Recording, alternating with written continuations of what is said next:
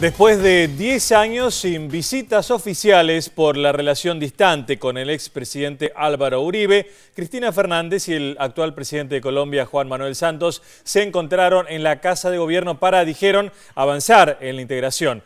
Los dos anunciaron la firma de ocho convenios de cooperación. Cristina Fernández se reunió en la Casa Rosada con su par colombiano.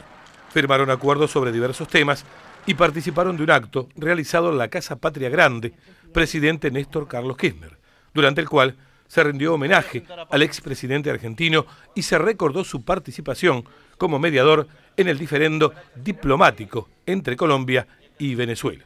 Los presidentes destacaron el descongelamiento de los vínculos entre ambas naciones luego de 10 años de conflictos.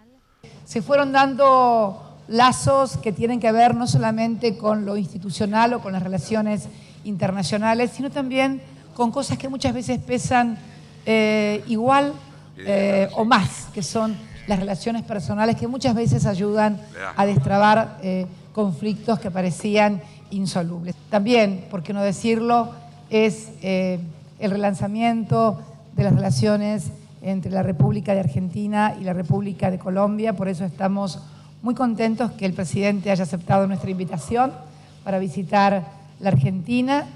Esta ocasión, esta visita oficial, eh, la primera que hago como oficialmente, eh, como presidente de la República, es una especie de descongelamiento de nuestra relación. Hacía más de 10 años que no venía un presidente eh, colombiano a Argentina. Según se anunció, los mandatarios suscribieron una declaración bilateral y documentos de cooperación referidos a las áreas de transporte urbano y por carretera, hidrovías, puertos y también convenios de transferencia tecnológica para la promoción comercial.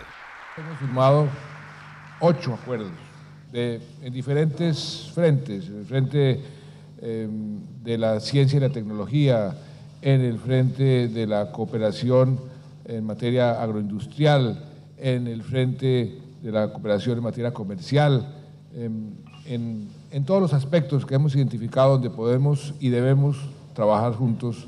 La ministra de Industria, Débora Giorgi, estimó que el comercio con Colombia alcanzará este año los 2 mil millones de dólares, ocho veces más que en el año 2003, y destacó que en esa relación comercial bilateral argentina mantiene un superávit creciente.